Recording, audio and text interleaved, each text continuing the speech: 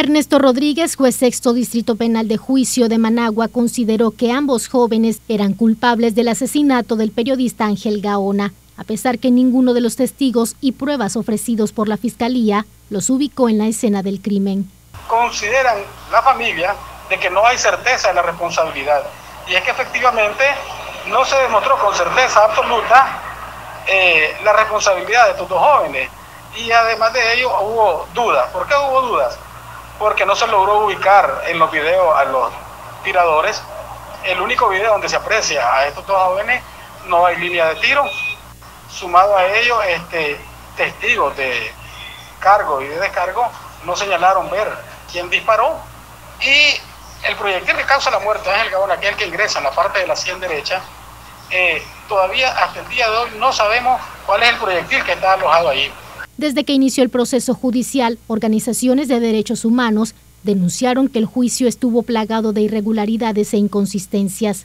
Lobo y Slate son los primeros presos políticos de los 320 que contabiliza el CENIT en ser condenados por el sistema de justicia de Nicaragua desde que inició el conflicto sociopolítico. Todo fue un, este, un juicio que no se puede llamar juicio, fue un proceso prácticamente amañado y, y, decidido desde un principio a eh, garantizar la impunidad de los verdaderos responsables.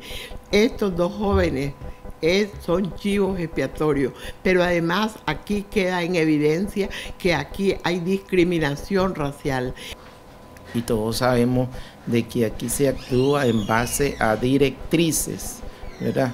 Y si alguien del Ejecutivo determina que un juez debe de fallar de cual o tal manera, así se falla. Pues. Y entonces propiamente los abogados y la familia de los acusados no están batallando contra propiamente una acusación, sino contra el, contra el gobierno de Nicaragua y se convierte eh, una, una batalla legal, por decirlo de esta manera, desigual, en donde todo el poder se vuelca contra ciudadanos sencillos, porque simplemente estaban en, un lugar ahí cuando se dieron un acontecimiento, pero que en realidad pues, no son culpables de los hechos por los cuales son condenados.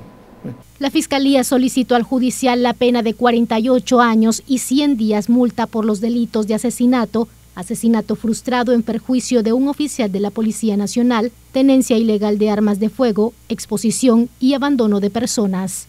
Walquiria Chavarría, Voz TV.